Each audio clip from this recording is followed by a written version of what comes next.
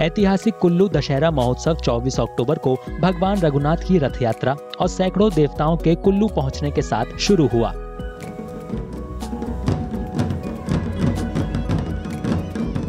हफ़्ते भर चलने वाले समारोह में सांस्कृतिक और धार्मिक शोभा यात्राओं समेत कई तरह के कार्यक्रम होंगे।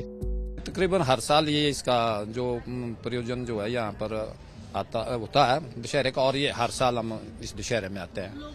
बहुत दूर से आते हैं, आपके आउटर सराज से आते हैं फॉरन से भी आते हैं। चलो, हिमाचल, कुल्लू तो फिर यहाँ का मशहूर है।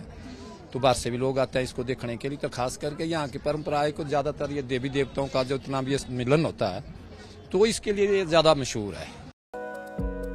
दशहरा उत्सव में भाग लेने के लिए अब तक साढ़े तीन सौ स्थानीय देवता आ चुके हैं।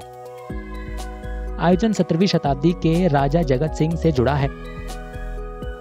वाल्मीकि रामायण में लिखा है कि विजयदशमी के दिन निश्चित रूप से रावण धराशायी हुआ था। लेकिन अंतिम सांस उसने पूर्णिमा के दिन ली। इसलिए पूर्णिमा का दिन पाँच या छह दिन के बाद या सात दिन के बाद आता है। दशमी के दिन पूर्णिमा नहीं होती।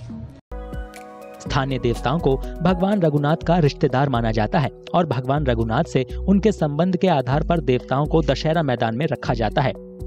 ये जो हम साथ में जो माता पार्वती है अपनी गणेश जी है तो इस साल बोला बत्तीस साल के बाद कार्तिक जी भी आए हुए हैं तो उनका स्थान कहीं और जगह लगा हुआ है, नई जगह में। स्कूल के साथ बता रहे हैं कि भाई वहाँ शिफ्ट हुआ है। अब लगा उनका जो स्थायी कैंप है ना। हाँ जी हाँ जी एक ही जगह एक जगह होते हैं। तीनों का जिनका परिवार जो है वो एक जगह दर्शन के तीन के तो यही हो रहे हैं। गणेश जी हैं पर पार्वती जी है शिव जी है। उनका थोड़ा दूर है ऊपर स्कूल के पास। देवी हडिम्बा की अनुमति के बिना कुल्लू दशहरा महोत्सव शुरू नहीं होता है। उनकी अनुमति लेना ज़रूरी है क्योंकि वे कुल्लू की देवी हैं और हडिम्बा के न्योते पर ही सभी देवता एक जगह पर जुटते हैं और हफ़्ते भर चलने वाला उत्सव शुरू होता है। जो माता हिडिम्बा है ये आपके पूरी कुल्लू घाटी की आराध्य देवी है अधिष्ठात्री देवी है। एक माने को मतलब दो मिनट की रानी है कुल्लू डिस्ट्रिक्ट क्योंकि इनके वगैरह ये संपन्न नहीं होता दशहरा।